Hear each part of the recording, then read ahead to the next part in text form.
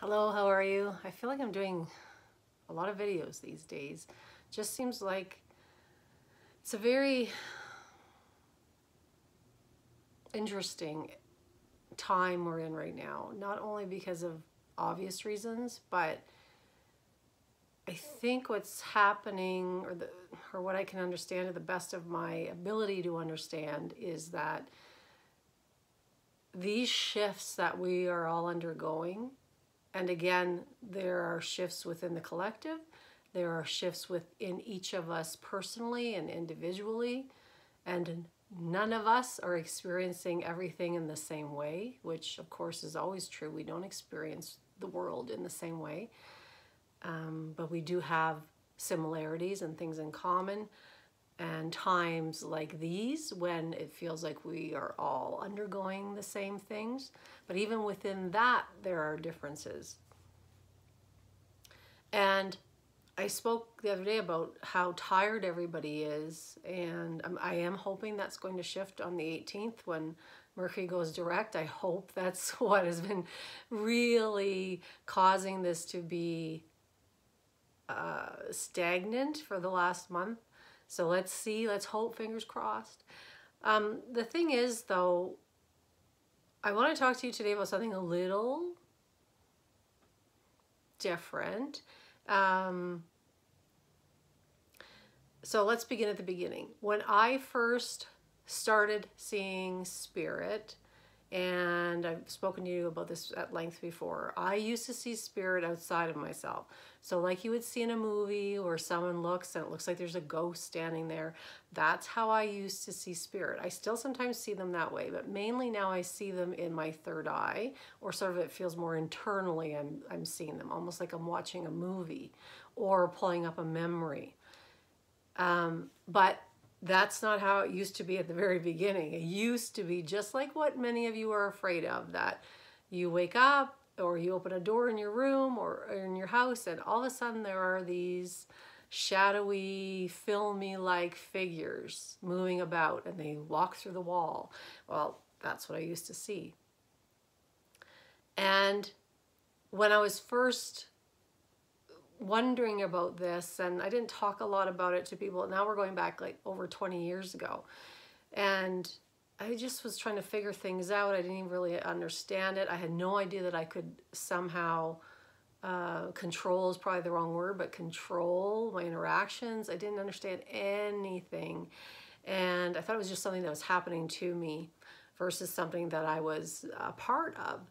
And so I was never afraid but again, I didn't really understand much of it. And once I became more aware of what was happening and I learned more and I came to realize what was happening, then a lot of things made sense. But for a long time there, I thought, which like probably a lot of people think, that connecting to spirit or seeing spirit, you know, people think is cool or some people are deathly afraid of it.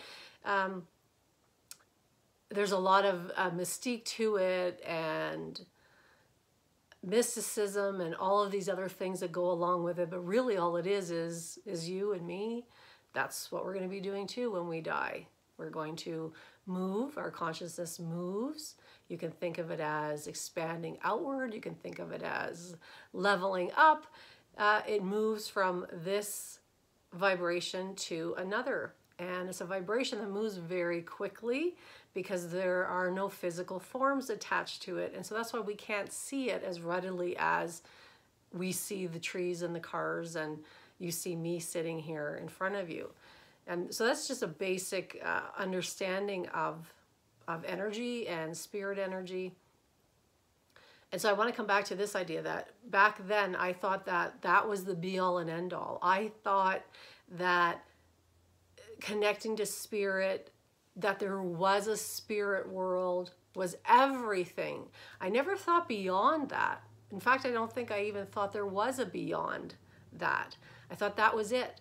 I thought that, that people in spirit were the highest vibrational beings. I thought uh, connecting to the spirit world was akin to um, being in some type of mythological heaven. Uh, you know, I thought that's all it was. And there's nothing wrong with thinking like that. Um, it's just a very base way to see the spirit world. And that's where I was. I was at a very base place because I didn't grow up thinking about it or talking about it. I didn't read any books about it. So just about everything I do has been self-taught. And now, of course, over the years, I have taken a class here or there, or I have a mentorship right now um, that I'm in. But mainly that's just for me to be around other people who are like me um, because I've already been working at this. It doesn't mean I don't learn anything. I'm not saying that at all. But that's basically why I join things. It's really for me to learn some things, but also to to have that that kinship. Um, and so I went from that place of, you know, the, the spirit world is everything, to now having an understanding because I've had further experiences that the spirit world is but one level, one world, one dimension, one um, one vibration, and there's much more beyond there, and much more that I will never know, and you will never know. Even when we die, we won't know. And I've come to understand that as best as I can, interpret it in my own my own limited way that that you and I sitting here on this planet, we are of one dimension, we are one level of frequency, and we can move beyond that, which is what we are trying to do. And then, but we can only do so much while we are in physical form. And for us to connect to anything that isn't in physical form, uh, i.e., spirits, uh, higher intelligent beings, angels, archangels, mythological creatures, on and on and on and on, um, takes practice and it takes uh, a desire as well because if you don't really care about these things you're not going to try to do it. And it it takes a an endurance um, and a development if you will. And so what has happened over the years I, I started seeing beyond the spirit world. And like I said, I thought that's all there was. I thought we died and we went to some kind of spirit world and that that was all there is. And now I've come to see that there's much more beyond that. And the spirit world itself isn't even the highest or the uh, broadest dimension there is. And so it's very fascinating. And so we throw out these numbers 3D, 5D, 7D, and can we prove any of this? No. And some people disagree on certain levels. And so I always I always do tell you that, right? They take everything with a grain of salt. And I the numbers I give you and the things I give you are just so your mind can make some sense of it but you may have your own experience uh, and see things differently.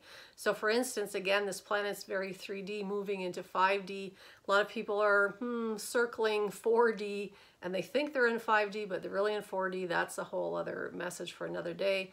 And then we move beyond that.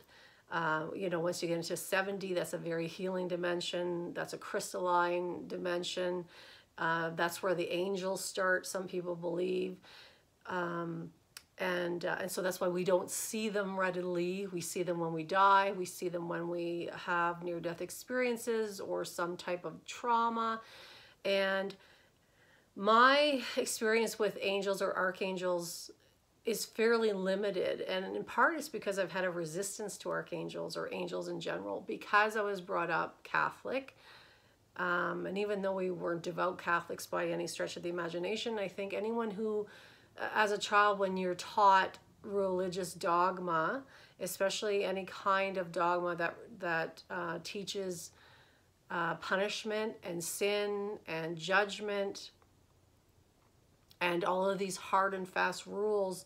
When you're a child and you take that on consciously and subconsciously, it's in there. It's in there. Even if you don't follow it, it's in there. You need to clean it up.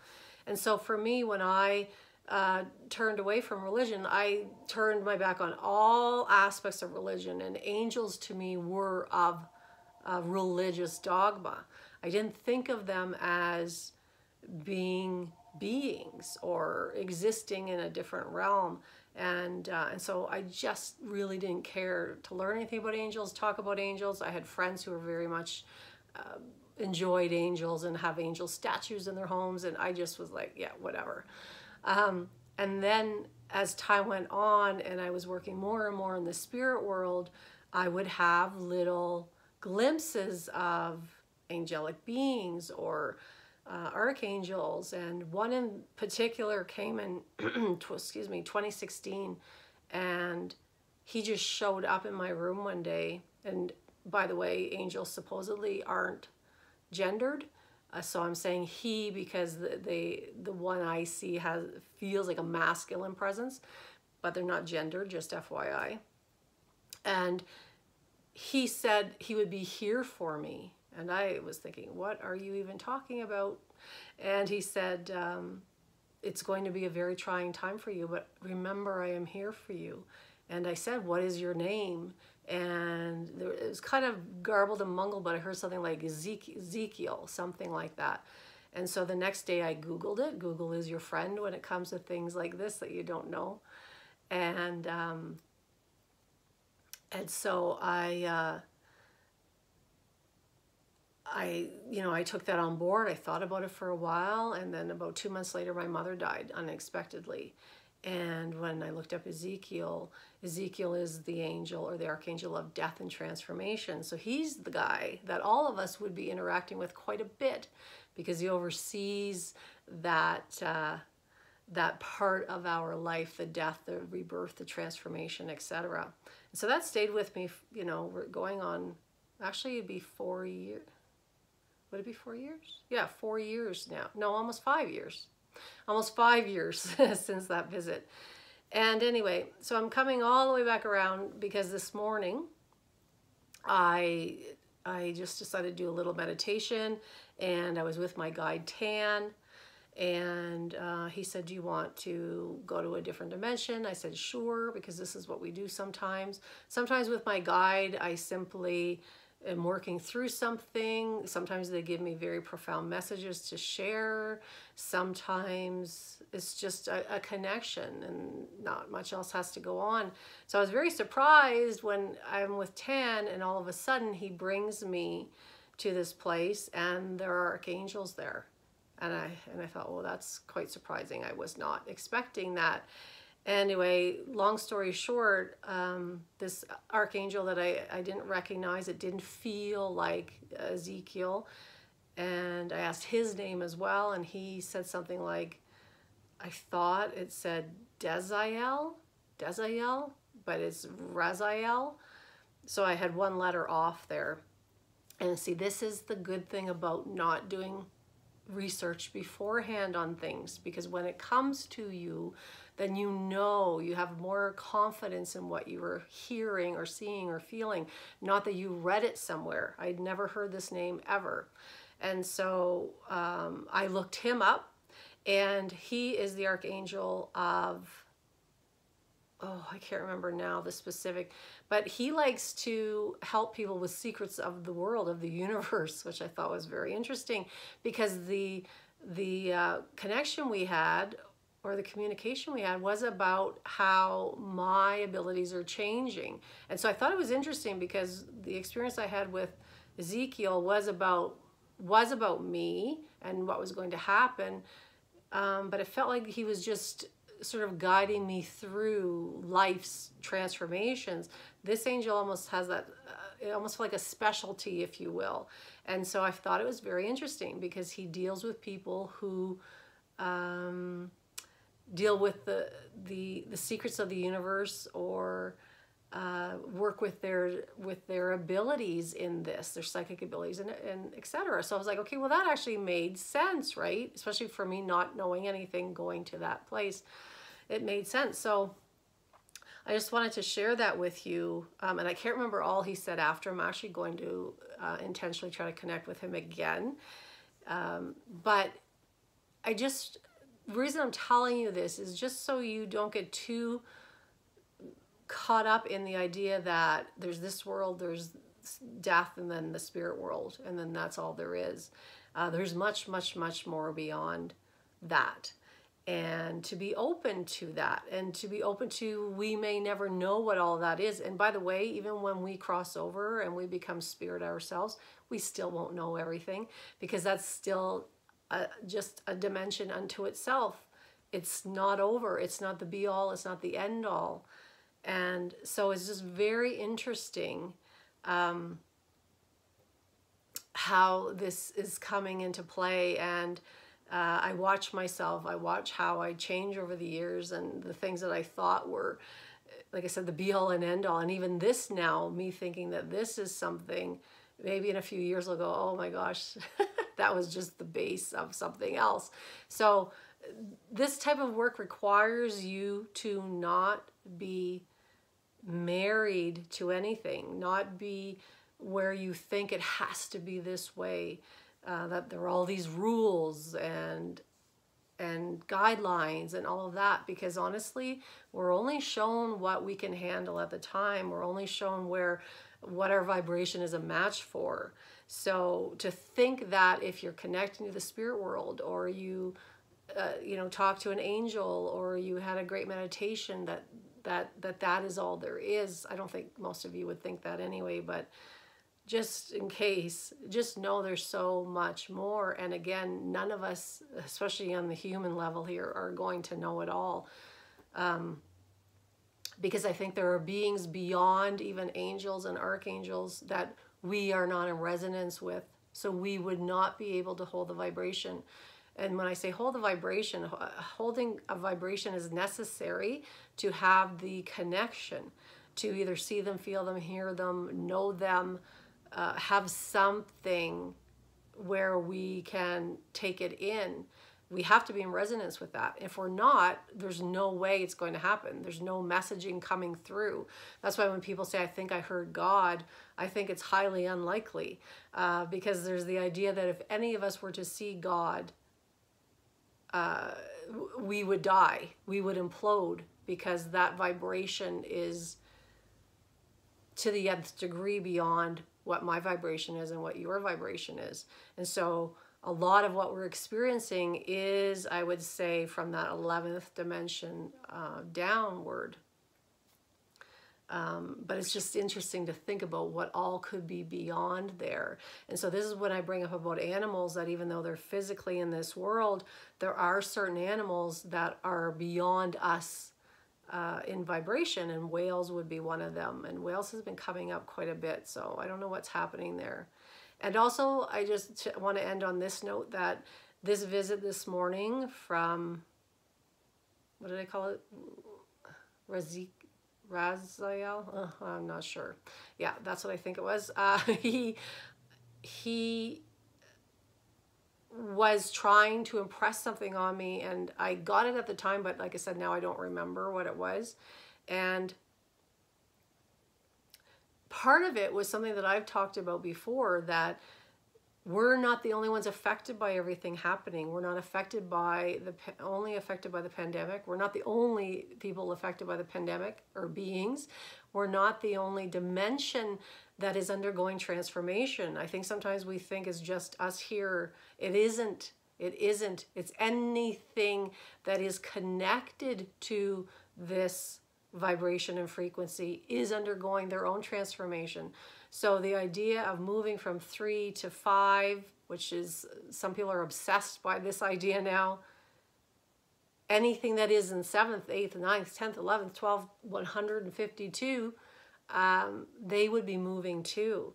So something that perhaps was in the seventh, we think of the seventh, they might be moving into the ninth, and the ninth is moving into the eleventh, and and or the tenth, or what have you. So just something to think about. Again, all these are very uh, esoteric ideas. It's part of my job to bring those ideas down and have this conversation with you to get you thinking about things.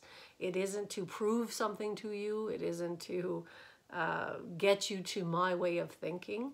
It's simply to say, huh, have you thought about this? Because this is what has happened to me and this is how I'm interpreting it.